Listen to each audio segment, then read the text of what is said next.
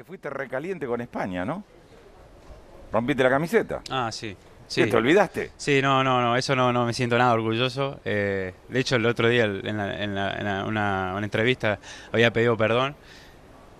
Pienso que esas cosas me hacen peor jugador y, bueno, son cosas de, de, la emoción del momento que tengo que cambiar, obviamente. También entiendo los árbitros, eh, dicen, este pesado me protesta toda, protesto las que son, las que no son. ¿Estás eh, pesado? Insoportable estaba en el partido, protestaba todas, las que eran, las que no eran y al final yo, yo si fuese árbitro diría, yo lo saco, chao, este, chao que no juegue más, me tiene cansado. Eh, entonces, bueno, son cosas que creo que son detalles que me van a hacer mejor jugador.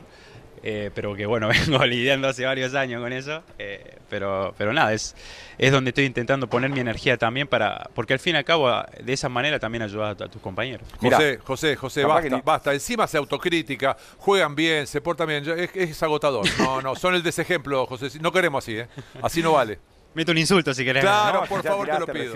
Ya, ya tiró recién. Escucha, eh, no sé si te acordás, pero esto a mí me hace acordar Feliz Domingo. ¿Hacemos un ping-pong corto, como alguna vez hicimos? Dale. ¿Eh? Dale. Sergio Hernández. ¿Qué? Decime, yo te tiro nombre, vos me tenés que decir, no lo viste nunca, Feliz Domingo, te pones la mano así, lo viste, Sergio Hernández. Sí, en el 91, Mosquito, ¿eh? Bueno. Estaba Feliz Domingo. No sé, pero alguien no, te comentó. Estaba terminando, estaba terminando. Es así, yo te lo explico. Vos te pones así los auriculares, yo te tiro nombre y vos me definís. Dale. Sergio Hernández. Eh, como un padre. Mari. Como una madre. Mi vieja. Sara. La número uno. Todo, todo. ¿Te cambió la vida? Sí, sí, sí, sí. ¿Es así? Sí, sí, sí, sí. Argentina. Buah. Un orgullo. Es una pasión representar a Argentina y a 40 millones de habitantes. Con su. La número uno. Uh, Ahí tengo dos número uno. Doncic. el número uno. hoy por hoy, el, número uno. Está recacetero. No, no, no. Está eh, recacetero. No, no, es que, ¿qué querés que te diga? Que el número 10. No, es el. Eh, Luca, la verdad que lo admiro. Eh, creo que después del partido contra Eslovenia, cada uno de los que estábamos ahí fuimos mejores jugadores después de enfrentarnos a un jugador como él. Ricky Rubio. Se está cansando de ganarnos, Ricky. Eh, nada, un jugador que maneja muy bien los tiempos del partido, las emociones del partido. Eh, nada, es, nos cuesta mucho agarrar de la mano, ¿no? Tanto él como España en sí. Eh, pero la verdad que también eh, en estos torneos juega en un, nivel increíble porque es uno de los más importantes del. Te estoy alargando mucho la respuesta. No, está bien, está bien. Porque es uno de los más importantes del torneo, del, equipo, de los líderes. Entonces, la verdad que lo, lo maneja a la perfección. Luis Escola. No hay nadie como él nadie.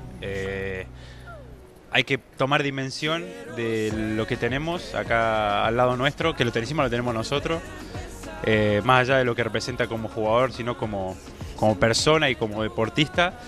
Eh, nada, una leyenda, una leyenda que todavía está jugando y a un nivel increíble. Así que como decía antes, tenemos que ser todos como unos alumnos al lado de él, eh, porque te enseña todo el tiempo, siempre lo digo, ni no hace falta ni que te hable directamente, viéndolo cómo trabaja, cómo se prepara, eh, su cabeza y demás. La verdad que es, un lujo y que a mí en lo personal me ayudó muchísimo, afuera y adentro de la cancha. Nicolás La Provítola. Eh, un crack, un crack, un amigo, un hermano, que vivimos muchas cosas buenas, no tan buenas, pero siempre juntos. El perrito. ¿Qué perrito? El perro. Tortu. El perro Tortu. Estaba pensando en mi perro, en Bruno. No, no, el perro Tortu. tortu también. Eh, lo admiro mucho, eh, lo quiero mucho, es como un hermano para mí eh, y está siempre listo. es increíble porque él, vos ves su lenguaje corporal y, y, y, es nada, tranquilo, pero vos lo ves los ojos y está siempre preparado, está siempre para, es de esos hermanos que van a estar en la buena y en la mala y va a pelear por vos al lado tuyo. Si no te pregunto, ¿esta en Córdoba me matan? ¿Córdoba? Eh, bueno, Córdoba es. Córdoba. Eh, el lugar donde me crié, donde, donde tengo mis amigos desde la infancia, de donde empecé a jugar al básquet. Eh, mi familia representa mucho para mí eh, y cada vez que tengo la oportunidad de ir eh, me encanta ir porque es como un cable a tierra, ¿no? Así que hace dos años que no voy y ahora termina esto y voy a intentar ir. Qué loco, ¿no? No volver después de ser su campeón del mundo a tu país.